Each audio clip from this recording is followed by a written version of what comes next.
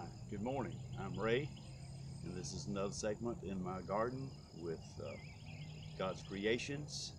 And this morning, I'm going, to share with you the three different flowers that's growing here in the early spring, last of March. The one that we're looking at right here is a Spirea prunifolia. It's called Spirea, bridal wreath Spirea, bridal veil Spirea. It's a deciduous shrub. It's hardy in zone 5 to 9. Uh, originally, it's a native of the Far East. I have two different varieties in this particular Spirea. Uh, as the camera uh, comes in closer on this one here, they are groups of flowers, but not very, not very tight in a circle. But if we scan down just a few degrees here, we can see another one. You see how tight and round these are? Basically, the flowers look a lot, lot alike, but these seem to be single here, and the other ones that you just look are little double things. Uh, and I'm, I think one of these is Garland spirea. I'm not sure, but it's a little bit more compact. There's a third uh, spirea that I understand that's uh, Brumalda spirea and its small pink flowers. It is not as hardy and grows like this. It is more compact. I grow it as well. Uh, but uh, but these, once you get them started, they're they're carefree. They bloom early here in March, and uh, they're pretty green, flowing uh, leaf patterns all the rest of the year, and they're just very attractive. I have a brother who has planted a whole row of these things down his fence and they're gorgeous for just a few weeks here in the early spring. Another flower I want to share with you this morning is a Lady Banks rose. So we'll just move over a little bit.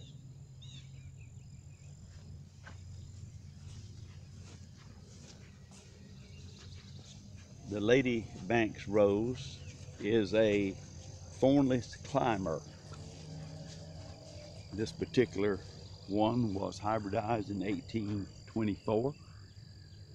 The flowers are really small, yellow, grows in little clusters. It's a very progressive runner, so if you don't want it to get out of hand, you have to do some trimming. It only blooms once, early spring, and as you will notice here, some blooms have been open for two or three weeks, and yet there's a lot of uh, pods uh, blooms that are going to be blooming for the next couple of weeks.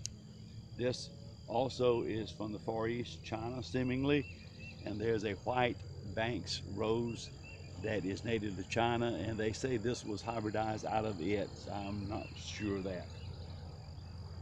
And it is single white. Again, like the spirea, it's beautiful at this time of the year for a couple of weeks, and then it the blooms are gone and it will not bloom again. And uh, it, it is pretty drought hardy. I understand the largest one growing in the world is in uh, Arizona. It was sent to someone back in the 1800s and it is uh, I, I think I read it's 12 feet in circumference the root base of it and uh, covers a wide area of that that home place. The Lady Banks Thornless Rose. One other plant I want to share with you that's springing, blooming in the early spring is a red honeysuckle. So we're going to move back again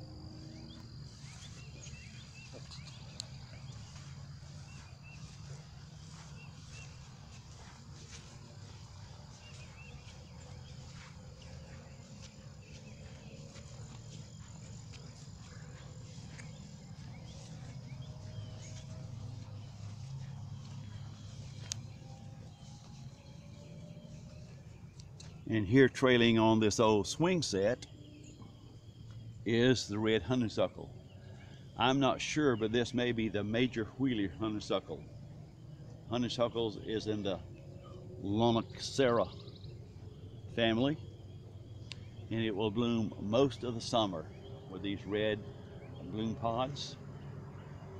Uh, there is a, a red, pinkish native uh, honeysuckle. Now I don't know whether this is the the native one or this is the hybrid major wheeler. This goes by several different names as well. Coral honeysuckle, trumpet honeysuckle, woodbine honeysuckle.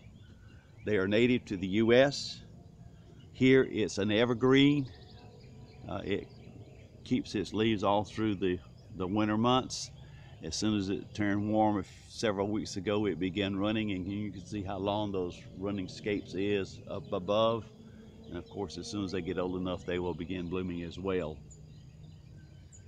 This is a uh, an attractive. It attracts hummingbirds and butterflies and all the all the pollinating bees of all sorts. And it's an attractive flower that blooms all summer. I have other things growing on this old swing.